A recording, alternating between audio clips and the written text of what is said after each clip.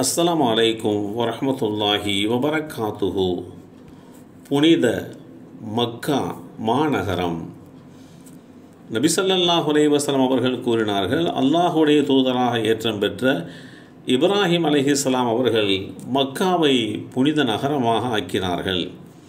அந்த மக்கா நகருக்காக வேண்டி பிரார்த்தித்தார்கள். இந்த செய்தி சஹீஹுல் புகாரியிலே இரண்டு ஒன்று இரண்டு ஒன்பது என்ற எண்ணிலே பதிவு செய்யப்பட்டிருக்கிறது. அப்துல்லாஹிபின் அப்பாஸ் ரலியல்லாஹு அன்ஹுமா அவர்கள் அறிவித்தார்கள் அல்லாஹ் மக்காவை புனிதப்படுத்தி இருக்கிறான் எனக்கு முன்னர் எவருக்கும் அதில் தற்காப்பு யுத்தம் நிகழ்த்துவதற்கு அனுமதிக்கப்படவில்லை. எனக்கு பின் எவருக்கும் அனுமதிக்கப்படாது. எனக்கு கூட பகலில் சிறிது நேரமே அனுமதிக்கப்பட்டது. எனவே இங்குள்ள புற்பூண்டுகளை கிள்ளக்கூடாது. இங்குள்ள மரங்களை வெட்டக்கூடாது. இங்குள்ள வேட்டை பிராணிகளை விரட்டக்கூடாது. யாரேனும் தவறவிட்ட பொருட்களை அது பற்றி அறிவிப்பு செய்பவரை தவிர மற்றவர்கள் அந்த பொருட்களை எடுக்கக்கூடாது. என்று நபிசல்லாஹ் அலைவசலம் அவர்கள் கூறினார்கள். இந்த செய்தி சஹிஹுல் புகாரியிலே ஒன்று எட்டு மூன்று மூன்று என்ற எண்ணிலே பதிவு செய்யப்பட்டிருக்கிறது.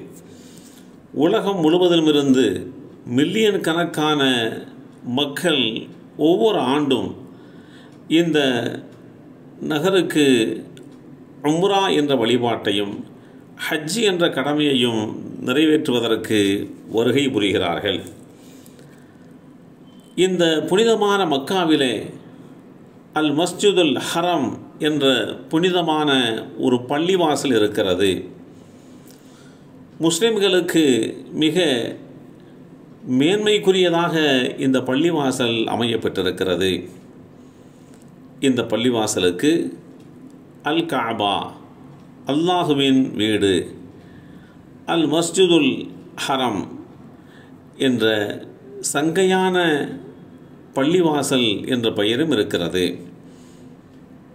உலகிலுள்ள இஸ்லாமியர்கள் புனிதமான காபத்துல்லா என்ற இந்த பள்ளிவாசல் இருக்கக்கூடிய திசையை முன்னோக்கித்தான் தொழுது வருகிறார்கள்.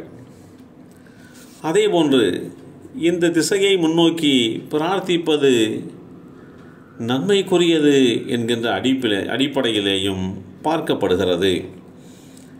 இந்த மக்காவிலே ஜபலே நூர் என்ற ஒரு மலை ஒன்று இருக்கிறது இந்த மலை மிகவும் முக்கியத்துவம் வாய்ந்தது. குர்ஆனில் முதல் வசனம் நபிசல்லாஹ் அலைவசல்லம் அவர்களுக்கு இந்த மலையில் இருந்தபோதுதான் அருளப்பட்டது.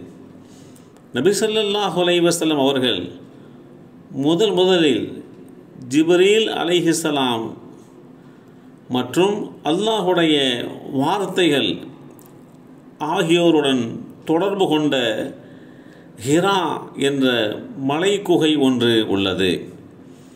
முதலில் இந்த குரானுடைய வசனங்கள் அருளப்படுவதற்கு தகுதிக்குரிய இடமாக இந்த இடம் அமையப்பெற்றிருப்பது என்பதையும் இந்த இடத்திலே நாம் புரிந்து கொள்வதற்கு கடமைப்பட்டிருக்கிறோம். ஒவ்வொரு ஆண்டும் புனிதமான ஹஜ்ஜு கடமையை நிறைவேற்றுவதற்கு ஏறக்குறைய ஒரு மில்லியன் பயணிகள் அரஃபாத் என்ற மலைப்பகுதிக்கு வருகிறார்கள். நபிமொழி தொகுப்புகளில் அரஃபா மலை என்பது மறுமையின் போது பொறுப்பு கூறுவதற்கான அனைத்து இஸ்லாமியர்களும் ஒன்று கூடும் இடம் என்றும் அறியப்பட்டிருக்கிறது. இந்த புனிதமான அரஃபாத் மலையும் அரஃபா மைதானமும் மக்காவிலே முக்கியத்துவம் வாய்ந்தவைகளாக பார்க்கப்படுகிறது.